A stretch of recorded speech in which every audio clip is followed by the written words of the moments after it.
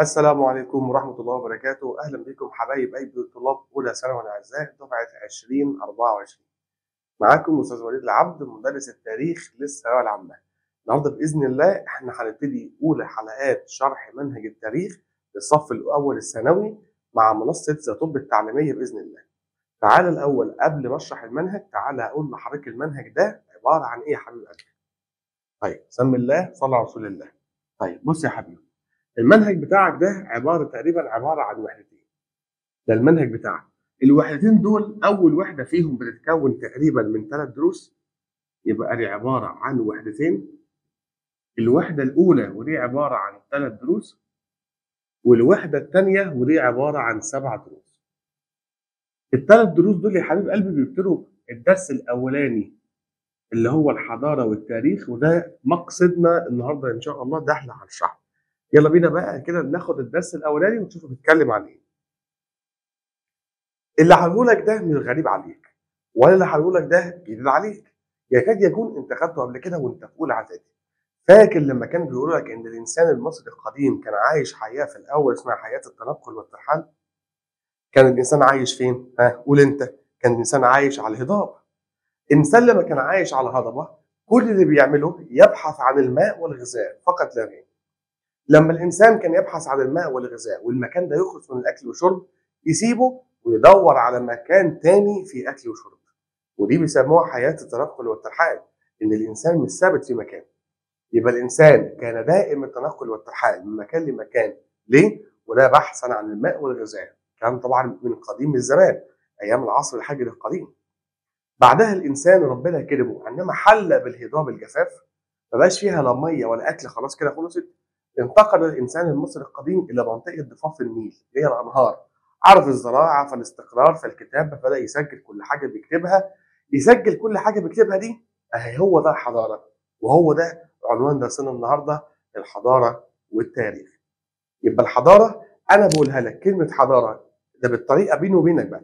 أي حاجة الإنسان المصري القديم كتبها من من قديم الزمان حتى وقتنا هذا هذا يطلق عليه الحضارة.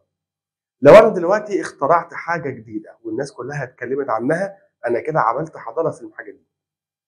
لو الناس كلها شكرت في الشرح بتاعي أو الناس كلها شكرت في الطريقة المستخدمة في الإلقاء أو ايا كانت الطريقة أهو ده كده أنا عملت حضارة. الحضارة دي معناها مجهود الإنسان بيعمله. المجهود ده الناس بتتكلم عنه أجيال ورا أجيال ورا أجيال. طالما حاجة شخص عملها واتكلمت عنها أجيال كتير يبقى الشخص ده عمل حضارة. خوف وخفرع ومنقرع أو ال 14 هرم اللي موجودين في اللي موجودين في مصر.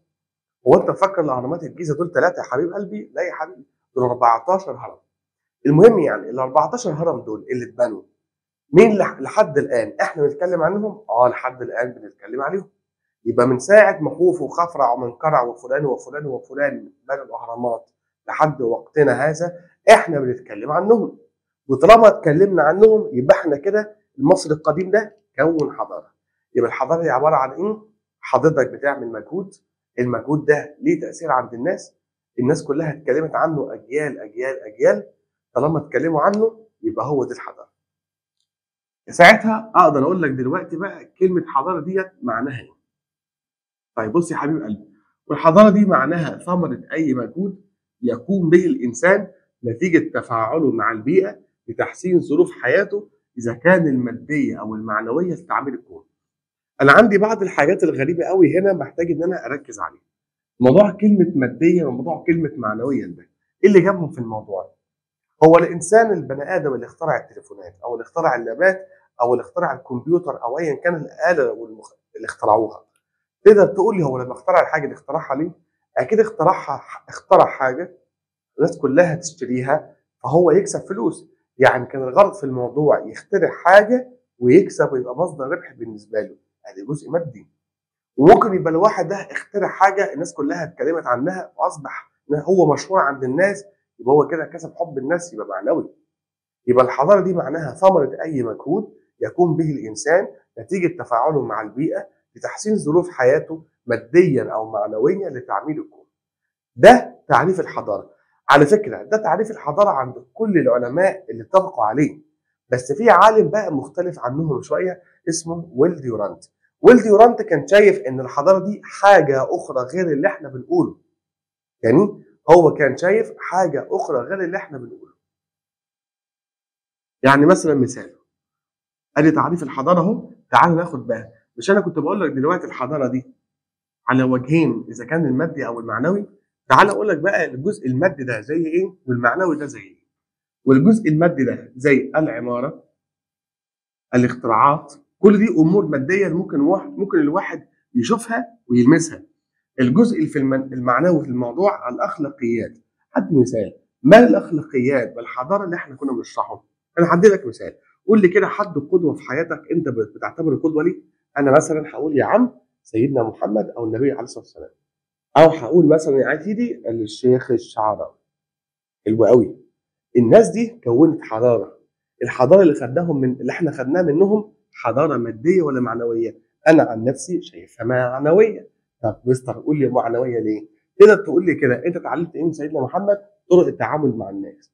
أنت عرفت إيه من سيدنا محمد؟ التسامح. هو التسامح ده مادي؟ أكيد لأ.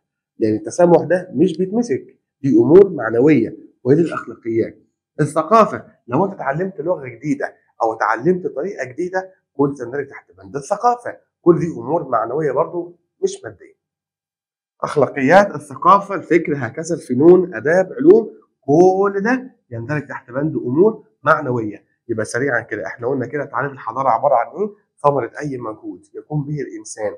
نتيجة تفاعله مع البيئة لتحسين ظروف حياته مادية أو معنوية لتعميد الكون.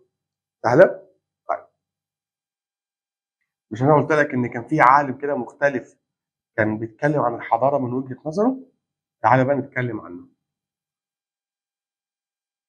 طيب الشخص اللي قدامك ده اسمه ويل ديورانت ويل ديورانت ده راجل أمريكي مؤرخ وأديب أمريكي. ايا كان يعني. طيب تعال أقول لك بقى الراجل ده كان شايف تعريف الحضارة من وجهة نظره إيه مختلف عن الباقيين. بيقول فيها إن الحضارة هو طبعا يعني للوهلة الأولى تيجي تشوف التعريف اللي هو قاله ويل ديورانت تحسه غريب قوي عن التعريف اللي إحنا قلناه فوق. يعني فوق إحنا قلنا ثمرة أي مجهود لتحصيل ايا كان لحد الآخر. بص بقى الراجل ده بيقول إيه؟ نظام اجتماعي يعين الإنسان على الزيادة في إنتاجه الثقافي.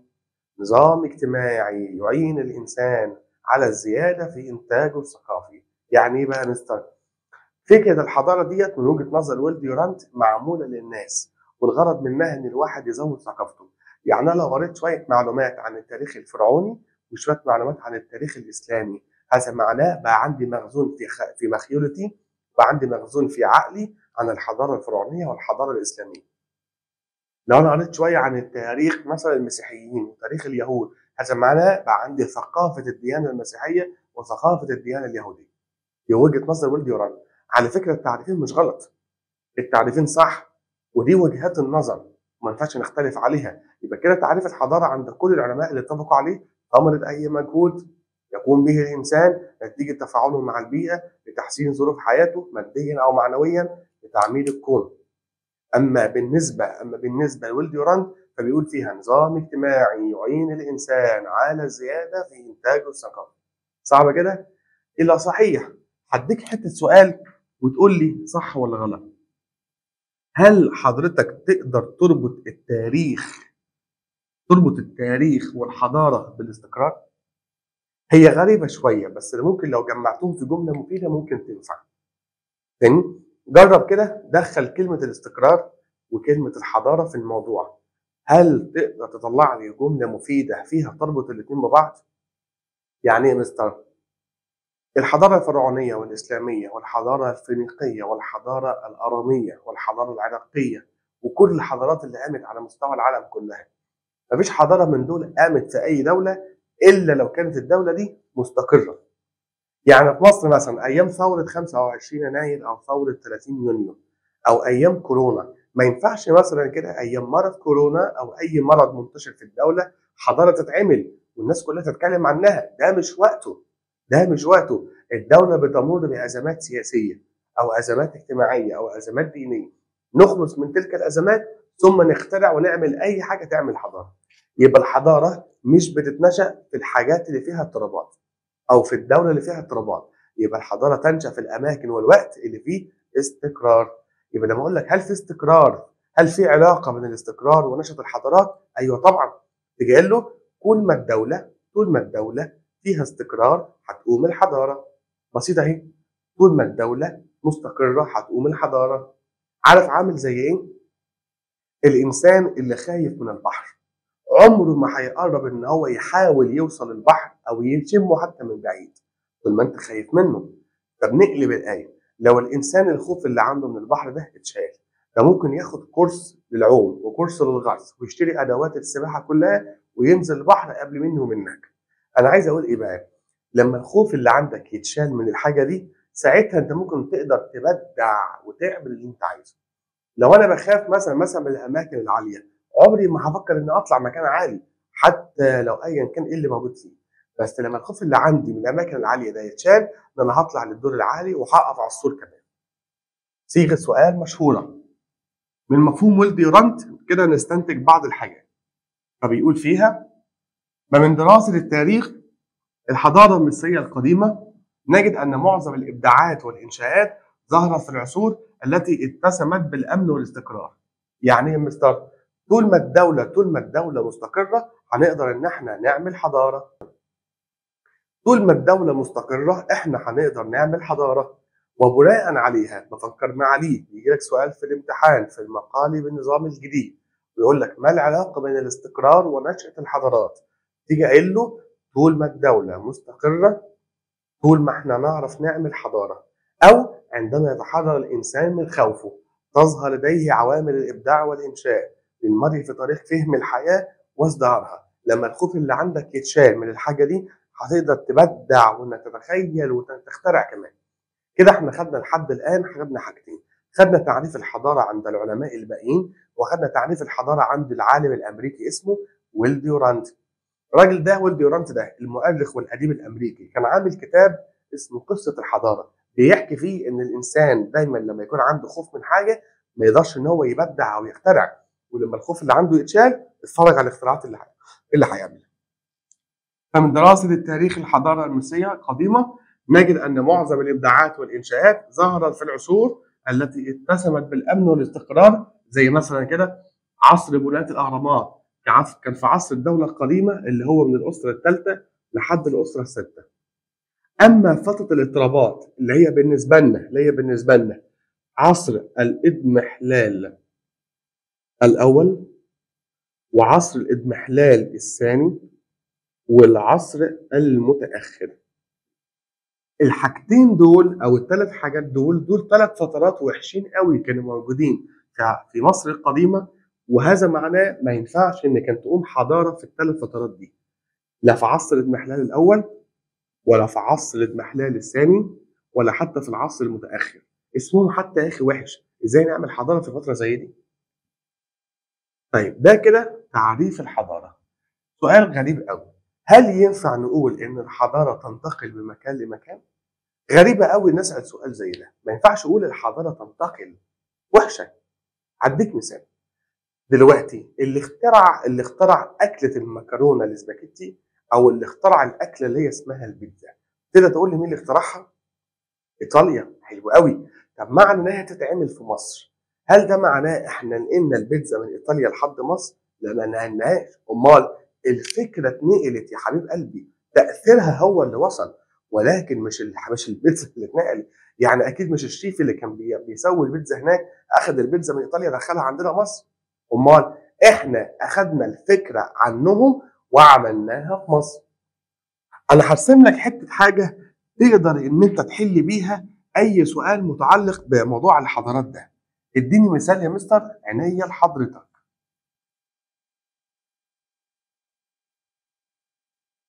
مثلا نجيبه دي. اللي هرسمه لك ده هرسم لك أربع دوائر. تحسهم غراب الشكل. في الوهلة الأولى ولكن لما تركز فيهم هتعرف إن أنت تحل عليهم. بص كده يا حبي.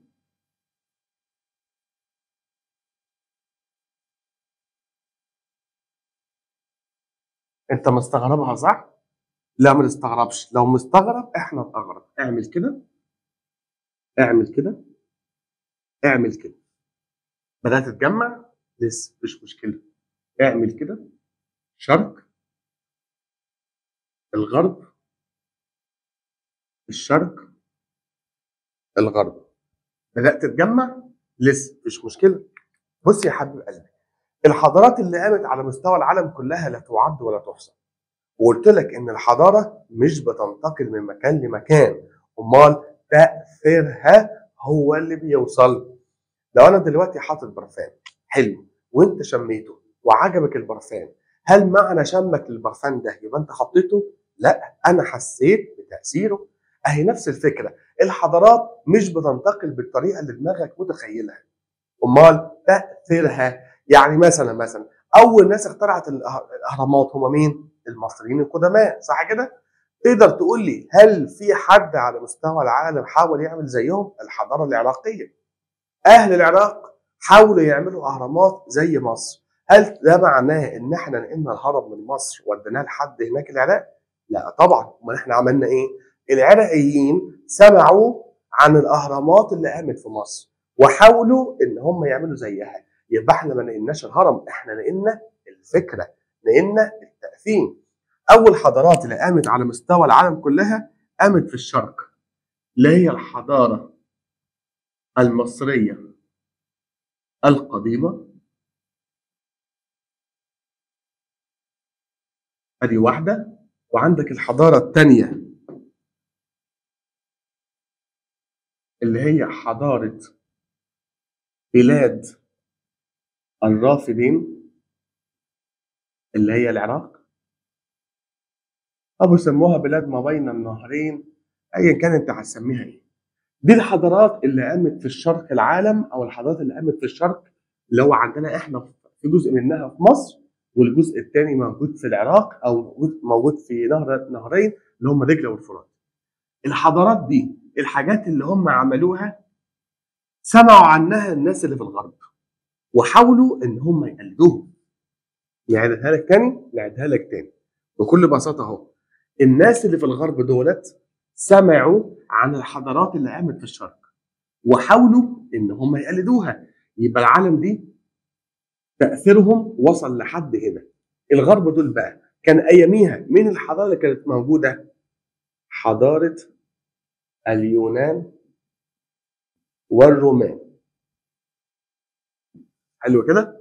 يبقى اليونانيين والرومانيين سمعوا عن الحضارة المصريه القديمة وحبوا إن هم يعملوا زيها.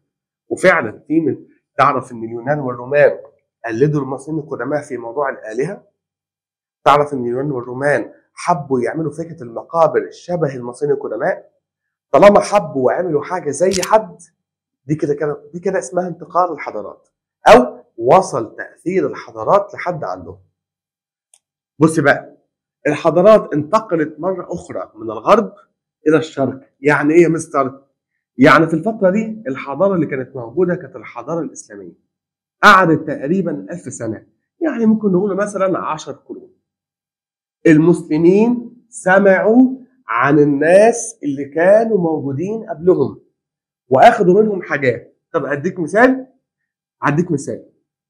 انت عارف انت عارف ان العملات زمان كان اسمها الدينار والدرهم. صح كده؟ الدينار والدرهم ده ده كانت عملة الأسواق في, قبل الإسلام وبعد الإسلام. تعرف إن الدينار والدرهم ده أساسا إحنا أصلا واخدينه من الرومان واخدينه من الفرس عارف دي ولا مش عارف. يعني فكرة الدينار والدرهم ده العملة بتاعت الناس اللي قبل الإسلام أو حتى بعد الإسلام العملة دي إحنا واخدينها أصلا من اليونان والرومان. يعني إحنا أخدنا فكرة حاجة عن الناس اللي قبلنا. يبقى الحضارة بدأت في الشرق عند الحضارة المصرية القديمة أو حضارة بلاد الرافدين أو بلاد فارس. انتقل انتقلت إلى أو انتقل تأثيرها إلى الغرب فاليونانيين والرومانيين عملوا حاجات شبه المصريين. ثم تأثير الحضارة اليونانية والرومانية دي وصل لحد الشرق. يعني وصل لحد المسلمين. فالمسلمين قلدوا حاجات من الغرب. ثم في الآخر الحضارة اللي قامت الغرب دي اسمها الحضارة الغربية الحديثة. أنا عايز أقول لك بقى إن الناس اللي قامت في الغرب هنا والحضارة دي سمعوا عن الحضارة الإسلامية وقلدوا منهم حاجات. أدي لك مثال الحضارة بتاعت أوروبا. عدد الناس المسلمين في أوروبا يا حبيب قلبي في الوقت اللي بتكلم عنه في المنهج ده 5% يعني 5% مسلمين وال 95% مسيحيين. تقدر تقول لي دلوقتي إزاي الإسلام وصل لحد أوروبا؟ ما هو ده اسمه تأثير الحضارات. يا إما يا إما الناس الفاتحون المسلمون هم اللي حاولوا يفتحوا مدن أخرى ويضموها للاسلام يا إما الغرب دولة الأوروبيين سمعوا عن الحضارة الإسلامية. عشان كده أسألك سؤال الحضارات تتواصل ولا تتصارع؟ تتواصل. أنا لحد الآن ما شرحتش أي تصارع حصل في الموضوع أو أي سلبية حصلت. يبقى الحضارات تتواصل حيث بدأت حضارات الشرق عند الحضارة المصريه القديمة وحضاره بلاد بين النهرين وحضارة بلاد فارس. ثم انتقل تأثيرها إلى الغرب عند الحضارة اليونانية والرومانية. ثم انتقل تأثيرها مرة أخرى إلى الشرق عند الحضارة الإسلامية واستمرت ألف عام ثم انتهت في آخر الحضارة عند الحضارة الغربية الحديثة. خلي بالك منها الحضارات تتواصل لا تتصارع كده أنا قلت لحضرتك إن الحضارات تتواصل لا تتصارع تعالى بقى نجم نفتكر كده سريعا اللي إحنا قلناه. مكتوب على مر السنين تبادلت الشعوب تراثها الحضاري من خلال الأخذ والعطاء والتأثير والتأثر بحيث تميزت كل حضارة عن الأخرى في الهوية الثقافية والخصوصية العقائدية. يعني يا مستر؟ كل حضارة من الحضارات اللي إحنا خدناها الأربعة دول كل واحدة من دول متميزة بحاجة شكل. واحد إذا كان في ثقافتها أو إذا كان في الدين بتاعها. وإحنا قلنا إن الحضارات تفتكر إن عاملة زي السلسلة. تاني الحضارة دي يا حبيب قلبي عاملة زي السلسلة. أدي حلقة بتكمل الثانية بتكمل الثالثه بتكمل الرابعة. كده يثبت لك إن الحضارات تتواصل مش تتصارع. خلي بالك منها. بدأت الحضارات في الشرق. عند الحضارة المصرية القديمة وحضارة العراق وحضارة اللي هي بلاد ما بين النهرين يعني وحضارة بلاد فارس اللي حاليا دولة إيران. اثنين انتقل تأثيرها إلى الغرب. أيام حضارة اليونان والرومان ثم رجع مرة أخرى إلى الشرق عند الحضارة الإسلامية وقعدت ألف سنة يعني عشر قرون. ثم انتهت في الآخر عند الحضارة الغربية الحديثة وأوعى تنسى الحضارات تتواصل لا تتصارع. طيب التاريخ؟ طيب ما معنى التاريخ؟ أي حاجة حصلت قبل كده اسمها ماضي أو اسمها تاريخ. يعني الموقف اللي حصل معايا من شوية وشرحت فيه حاجة معينة ده كده بالنسبة للمنهج اسمه تاريخ. التاريخ ليه تعريفين للأمانة العلمية بصراحة تحتم عليا ان أقوله لك. ليه تعريفين؟ التعريف الأولاني كل شيء حدث في الماضي. أو ممكن أقول لو أنا مثلا جربت ورحت ضارب على نفسي كده. دلوقتي أنا من ثانيتين ثلاثة ضربت على إيدي صح كده؟ ده اسمه ماضي. تقدر تقول لي إيه تأثير الضربة دي؟ إنها احمرت. أنا عايز أقول إيه؟ إن التاريخ له تأثير على الماضي وعلى الحاضر وممكن أتنبأ للمستقبل. إديني مثال واضح وصريح. فلان الفلاني زميل حضراتكم مثلا ونفترض اسمه أحمد. إمبارح ما ذاكرش. ده تاريخ ماضي إمبارح. بناء عليها النهارده سمعه هيبقى وحش. فهتوقع إن الامتحان اللي جاي هيجيب درجة منيله يبقى أنا ممكن التاريخ يخليني أتنبأ بالمستقبل وأعرف الحاضر. تاني التاريخ هو الماضي يخليك تتنبأ بالمستقبل وتعرف الحاضر. فمثلا التاريخ هو علم يتناول النشاط الإنساني في كافة الأزمنة. علم يتناول النشاط الإنساني في كافة الأزمنة المختلفة لمعرفة الماضي وفهم الحاضر واستشراق المستقبل أو التنبؤ بالمستقبل. هي دي هي دي. طيب. التاريخ ده ممكن يعلمني إيه؟ ده يعلمك خمسين ألف حاجة. أولا التاريخ له عبر ووصايا وأحكام. يعني مثلا مثلا أهالينا زمان كان يقول لك من جد وجد ومن زرع حصد. أكيد ما كانش قصدي جدي ولا جدتي لما نصحوني بكلمة من زرع حصد معناها اللي تزرعه هتحصده مش معناها اللي تزرعه. معناها الخير اللي هتعمله معناها الشغل اللي هتعمله هيجي لك نتيجة عليه مش معناها اللي تزرع هيجي لك عليه. يبقى أهمية دراسة التاريخ أول واحدة استخلاص العبر من تاريخ الأمم السابقة عبر بقى عظة موعظة يعني مثلا من ضمن الموعظات اللي الواحد يمكن يعرفها القصة اللي حصلت في الطوفان اللي هي بتاعت العراق. اولا العراقيين ما كانوش بيعبدوا ربنا فكانوا بيعبدوا آلهة أخرى غريبة كده. إله كده اسمه عشتار وإله المهم يعني ده إله الحب والحرب عندهم. ربنا عشان كان غضبان عليهم ربنا بعت لهم طوفان غرق الدولة كلها.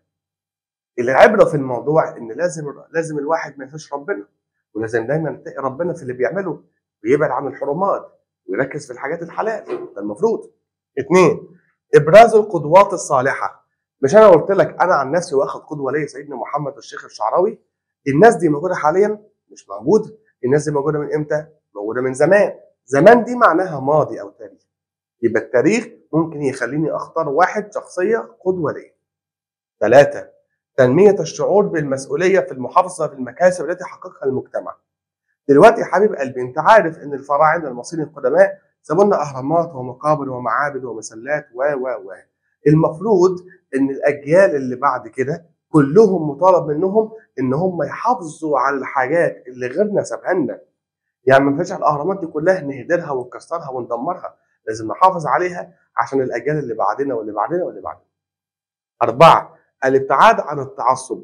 ما ينفعش أقول إن الحضارة المصرية القديمة ما فيش غيرها على مستوى العالم قامت يا حبيبي؟ أنت عندك 40 ألف حضارة قامت على مستوى العالم. ولكن أنت يمكن عشان من مصر فشايف إن الحضارة المصرية القديمة هي أول حضارة وآخر حضارة. بس ما ينفعش تنكر وجود أي حضارة تانية. إن الدين عند الله الإسلام. بس ما انكرش ان في ناس تانية بتعبد البقر وفي ناس تانية بتعبد التماسيح وبتعبد حاجات غريبة. ما انكرش وجودهم. آه هم غلط بس ما انكرش وجودهم. مثلا بالنسبة للكورة أنا مثلا نفترض ننتمي إلى نادي ما ايا كان اسمه. ما ينفعش أقول يا جماعة ما فيش نادي تاني غير اللي أنا عندي بس. لا يا حبيبي لا تنكر فضل غيرك ولا تنكر حضارة غيرك ولا تنكر تاريخ غيرك. لك الابتعاد عن التعصب لأنه يبين أن العالم لم يقم على حضارة واحدة أو عنصر واحد أو لغة واحدة فلكل تاريخ أو لكل أمة نصيبها من هذا الميدان. يعني إيه يا مستر؟ يعني بص يا حبيب قلبي ما ينفعش إن أنت تنكر وجود حضارة ايا كان ما ينفعش. ولا تنكر وجود إن في تاريخ قام في دولة ما برضه غلط. يعني كده؟ خلي بالك من اللي قلته النهارده. أنا كده قلت لك إيه دلوقتي؟ أهمية دراسة التاريخ استخلاص العبر من تاريخ الأمم السابقة إبراز القدوات الصالحة من الشخصيات التاريخية تنمية الشعور بالمسؤولية الابتعاد عن التعصب. مشهور قوي السؤال ده في الامتحان يقول لك فسر لما يأتي فسر لما يأتي. إن دلوقتي إن التاريخ بيعلمنا الابتعاد عن التعصب أيوه فعلا صح. ما ينفعش إن إحنا نقول ما فيش غير الحضارة دي. أقولها له إزاي بقى في صيغة الإجابة؟ لأنه يبين أن العالم لم يقم على حضارة واحدة أو عنصر واحد أو لغة واحدة فكل أمة نصيبها من الحضارة بتاعتها. على مدار الزمن كله هم أربع فترات من الزمن اللي مطالب منك تدرسهم. إذا كانت العصور القديمة أو العصور الوسطى أو العصور الحديثة أو العصور المعاصرة. بص يا روحي بص يا حبيب قلبي. دلوقتي هم الأربع عصور دول عشان تقدر تميزهم عن بعض كل عصر من دول تميز بحاجة شكل يعني مثال. العصور القديمة اللي هي الفترة اللي كان فيها الأهرامات والمقابر والمعابد والمسلات واختراع الإنسان للكتابه والإنسان اكتشف الزراعة كل ده حصل في العصور القديمة. الحضاره المصريه القديمة حضارة بناة الأهرامات حضارة بلاد الرافدين حضارة العراق كل ده في العصور القديمة. العصور الوسطى تتسم بالطابع الديني. أي حاجة فيها مسلمين أو مسيحيين يبقى هنا وهشرحها لك دلوقتي.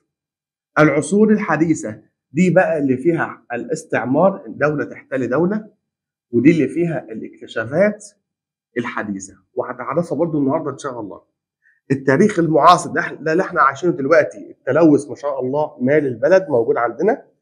رقم اثنين في جزء إيجابي لما الإنسان طلع على سطح القمر. خلي بالك أنا لسه ما شرحتش ولكن بحاول أوصل لك رسالة. إيه هي الرسالة؟ كل عصور من دول يا حبيب قلبي مشهورة بحاجة شكل. فمثلا تعال ناخده الأول أول عصور. مثلا العصور القديمة. اولا كل عصر من دول عشان تعرف إن أنت تحفظه كويس لازم تعرف بيبتدي من إمتى يا حبيبي وتنتهي يعني العصور القديمة بدأت أواخر الألف الرابع قبل الميلاد يعني سنة 1400 قبل الميلاد. انتهت سنة 476 ميلادية. عارف ولا يخصني 1000 ربع قبل الميلاد أنا اللي يخصني ده. وبصراحة والأخص الحتة دي. زمان روما اللي هي عاصمة إيطاليا كانت عاملة إمبراطورية كبيرة قوي. ومن كتر اتساعها كانت منقسمة إلى جزئين الإمبراطورية الرومانية الشرقية والإمبراطورية الرومانية الغربية. وعشان منقسمه إلى جزئين الجزء فيهم اللي سقط الغربي وهو بيسأل في الامتحان في سقوط الإمبراطورية الرومانية الغربية. ده اللي بيسأل فيه. تمام؟ طيب أعرف إزاي إن السؤال ده في الامتحان إجابته هو عصور عصور قديمة. أ- اللي هقول لك عليه حاجة من اللي شبه اللي أنا هقول لك عليه. مثلا الإنسان لما اكتشف الزراعة. الإنسان لما اكتشف الزراعة. اثنين الإنسان لما عرف الكتابة. الإنسان لما بنى المقابر والمعابد. ما هو الحاجات دي كلها يا حبيبي كانت في العصور القديمة. هو لازم أقول لك أنا آسف يعني لازم أقول لك كلمة بالظبط في الامتحان عشان تعرفها. يعني لو قلت لك مثلا عصر بناة الأهرامات كان في عصر الدولة القديمه الحضارات المص... الحضارة المصرية القديمة كلها اللي هم ال 30 أسرة اللي هم ال 30 أسرة. كلهم قاموا في الفترة دي. حضارة بلاد ما بين النهرين اللي هي حضارة العراق. حضارة فينيقيا اللي هي حضارة سوريا ولبنان. حضارة بلاد فارس اللي هي حضارة إيران. إيه عارف أنا ممكن أصعب عليك الدنيا في الامتحان إزاي؟ أعمل كالآتي. رقم واحد إني أحط معلومة من أي حاجة من دول. يعني بدل ما أقول لك حضارة فينيقيا ممكن أحط لك صورة حاجة الفينيقيين عملوها. مثلا وأقول لك ده يندرج تحت بند أنهي حضارة. فهمتها؟ يبقى العصور القديمة بدأت إمتى؟ قول معايا كده. أواخر الألف الرابع قبل الميلاد. انتهى سنة كام؟ 476 ميلادية. الف- الفترة دي إيه اللي حصل فيها؟ سقطت فيها الإمبراطورية الرومانية الغربية. الإنسان اكتشف الزراعة. الإنسان عرف الكتابة. بنى المقابر والمعابد وقامت حضارات. بصراحة معظم الحضارات اللي قامت دي قامت على حوض البحر المتوسط بالأخص اللي قلت لك عليهم دول. إذا كانت الحضارة المصرية القديمة أو إذا كان حضارة بلاد ما بين النهرين أو حضارة فينيقيا أو حضارة بلاد فارس. العصور الوسطى ودي اللي بدأت 476 ميلادية وانتهت 1453 ميلادية. تعال أقول لك بقى موضوع 1453 ميلاديه ده في الفترة دي قام الفاتح أو الشخص اسمه محمد الفاتح فتح مدينة القسطنطينية عاصمة الدولة البيزنطية اللي هو عاصمة الروم. تاني إحنا قلنا كده إن العصور الوسطى بدأت من 476 ميلاديه إلى سنة 1453 ميلاديه. وبقول لك إن السنة دي اللي حصل فيها كالآتي محمد الفاتح ده عثماني فتح مدينه القسطنطينية عاصمة الدولة البيزنطية. طيب تعال ناخد بقى دلوقتي مش أنا قلت لك العصور الوسطى تعرفها إزاي؟ قلت لك تتسم بالطابع الديني صح كده؟ الإسلام انتشر فيها والمسيحية انتشرت فيها بس تفرق أنت عارف إن المسيحيين أربع فئات يعني أربع مذاهب الكاثوليكي الأرثوذكسي والإنجليين والبروتستانت زي عندنا في الإسلام أربع مذاهب أبو حنيفة النعماني والشافعي والحنبلي والمالكي صح كده؟ هم عندهم في المسيحية أشهر مذهب في عندهم هو المذهب الكاثوليكي أو أوروبا بالأخص مشهورة بالمذهب الكاثوليكي. زمان يا حبيب قلبي كانت قاره أوروبا اللي كان بيحكمها الكنيسة. يعني مش حاجة اسمها حاكم لأوروبا حاكم لدولة كذا. كان الحاكم ده هو البابا بتاع الكنيسة. وكانوا بيسموه هناك بابا روما أو كنيسة بابا روما اللي هي كنيسة الفاتيكان. حاليا الفاتيكان دي حتة في إيطاليا يعني اللي كان بيحكم إيطاليا أو اللي بيحكم قارة أوروبا هي الديانة المسيحية بالأخص المذهب الكاثوليكي. اثنين قيام نظام الإقطاع في أوروبا. طيب ما معنى أصلا نظام الإقطاع؟ بص يا حبيبي قلبي صلى على النبي. كلمة الإقطاع هو معناه سوء توزيع الأراضي الزراعية.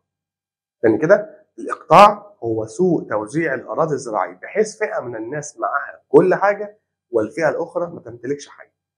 يعني مثلا مثلا مثلا في أراضي زراعية يبقى الناس الأغنياء بس هم اللي معاهم ال- الأراضي الزراعية والناس التانية الغلابة معهمش أي حاجة. طبعا ده قمة الظلم وده كان موجود في أوروبا وكان مشهور قوي. اثنين الإسلام في الفترة دي بدأ يظهر وده كان في القرن السابع الميلادي.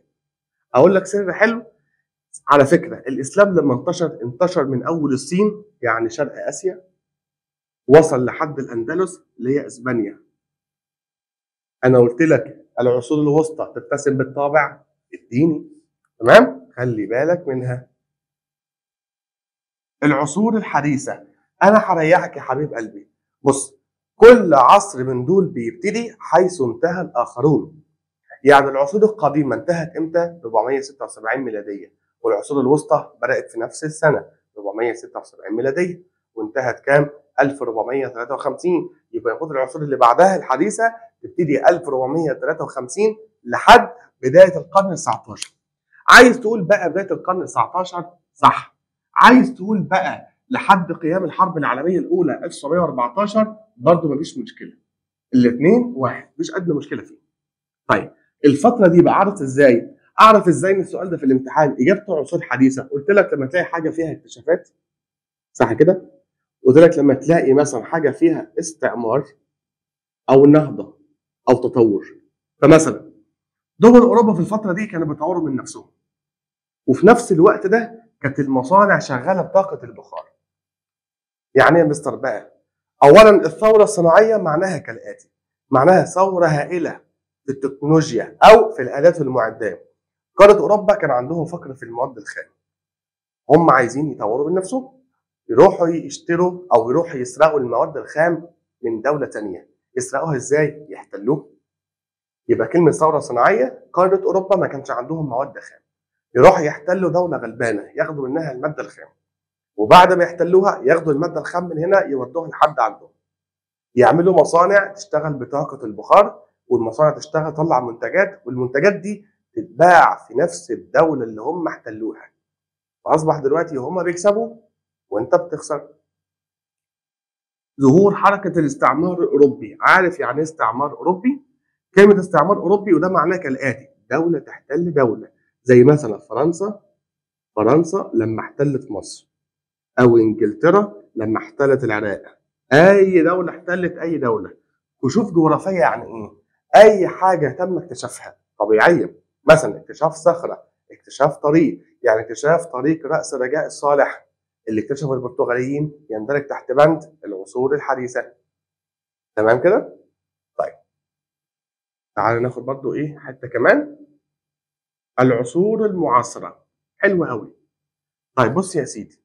نفس اللي قلته من شوية. العصور المعاصرة هتبتدي إمتى؟ العصور المعاصرة هتبتدي من نهاية اللي قبليه اللي هو نهاية العصور الحديثة. لحد إمتى يا مستر؟ لحد دلوقتي. أعرف إزاي؟ هنا بقى في إيجابيات وسلبيات بصراحة. إيه الإيجابيات في الموضوع؟ تعال. في العصور الحديثة كان بيحصل استعمار أوروبي دولة تحتل دوله أنا بقول لك بقى النهارده يا سيدي موضوع حركة الاستعمار ده ما بقاش موجود. فكل دولة قدرت تاخد استقلالها يعني تطلع الاستعمار من عندها. الفترة دي في الجزء الإيجابي فيها حصل فيها ثورة هائلة من التكنولوجيا والاختراعات الحديثة. حاجة حلوة. لما بعتوا أول إنسان طلع على سطح القمر بقى قبليه الكلبه اللي اسمها ليزا. لو حد فاكر. كل اختراعات حلوة قوي طب عد بقى السلبيات. قد الإيجابيات مرتين. الحرب العالمية الأولى والثانيه واللي بسببها جابت أمراض. واللي بسببها عمل التلوث.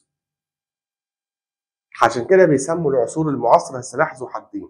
أو بيسموا العصور المعاصرة وجهان لعملة واحدة. يعني فيها الجزء الإيجابي والجزء السلبي.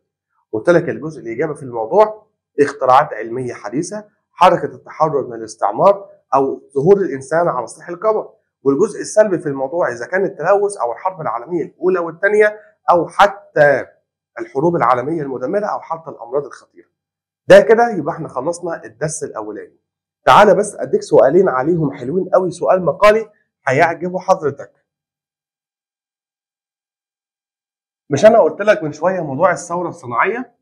صيغه سؤال عليه اهو سؤال بيقول لك هناك علاقة بين قيام النهضة الأوروبية والثورة الصناعية وبين الاستعمار.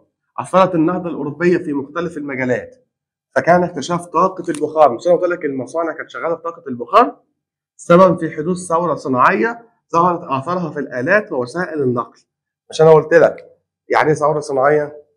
دولة ما عندهاش مواد خام تروح تحتل الدولة الثانية تاخد منها الخير اللي في أرضها وبعدها تروح تسطره لحد عندها تعمل مصانع وآلات ومعدات تشتغل بطاقة البخار. المصنع يطلع منتجات والمنتجات تتباع فين؟ في الدولة اللي هم احتلوها. وهو دي صيغة السؤال اللي بيتكلم عن الشرح اللي أنا فسرته. آخر صيغة سؤال. بيقول لك يرى بعض العلماء التاريخ أن للحضارة دورة حياة تشبه دورة حياة الكائن الحي. أي دولة في الدنيا يا حبيب قلبي عندها دورة حياة عندها أربع حاجات. الإنسان والدولة الاثنين زي بعض من حيث كالآتي. دولة تنشأ بعدها دولة تكبر دولة تنضج دولة تضمحل. مرحلة مرحلة الطفولة اللي هي الإنسان انتقل فيها من حياة التنقل والترحال إلى حياة الاستقرار.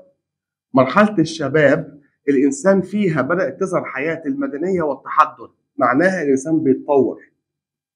مرحلة النضج دي بقى اللي إحنا طورنا من نفسنا فيها لدرجة إن إحنا بنينا حاجات غيرنا ما يعرفش يعمل زيها. مرحلة الشيخوخة دي بقى اللي هي بيسموها عندنا في المنهج آه، فترة الاضمحلال الأول وعصر الاضمحلال الثاني.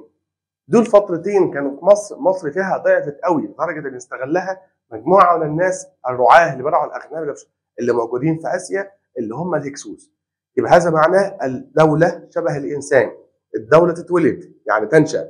الدولة تكبر الدولة بعدها بتموت مش تموت معناها تضعف وتضمحل ويستغلها ناس تانية. وده كان كلام ابن خلدون. كده يبقى أنا خلصنا الدرس الأولاني اللي هو الحضارة والتاريخ. واشوف حضراتكم على خير في الفيديو الجاي إن شاء الله. كان معكم مستر وليد العبد مدرس التاريخ للثانوية العامة من منصة زاتوب. هتبقى التوب. سلام عليكم.